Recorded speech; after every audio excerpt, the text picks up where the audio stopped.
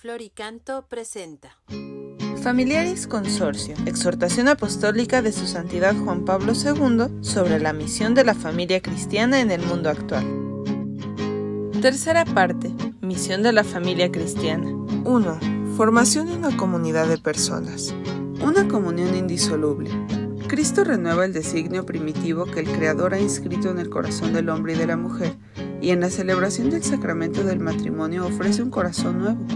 De este modo los cónyuges no solo pueden superar la dureza de corazón, sino que también y principalmente pueden compartir el amor pleno y definitivo de Cristo, nueva y eterna alianza hecha carne. Así como el Señor Jesús es el testigo fiel, es el sí de las promesas de Dios y consiguientemente la realización suprema de la fidelidad incondicional con la que Dios ama a su pueblo, así también los cónyuges cristianos están llamados a participar realmente en la indisolubilidad irrevocable que une a Cristo con la Iglesia, su esposa, amada por Él hasta el fin.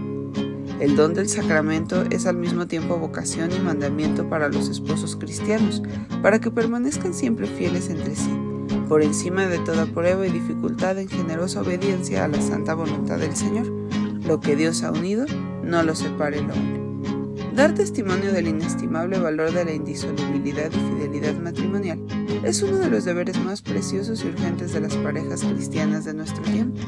Por esto, felicito y aliento a las numerosas parejas que han encontrado no leves dificultades, conservan y desarrollan el bien de la indisolubilidad Cumplen así de manera útil y valiente el cometido a ellas confiado de ser un signo en el mundo, un signo pequeño y precioso, a veces expuesto a tentación, pero siempre renovado, de la incansable fidelidad con que Dios y Jesucristo aman a todos los hombres y a cada hombre.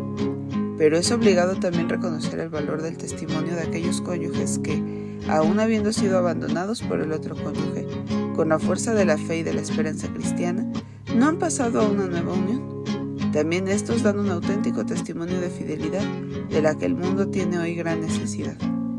Por ello deben ser animados y ayudados por los pastores y por los fieles de la iglesia.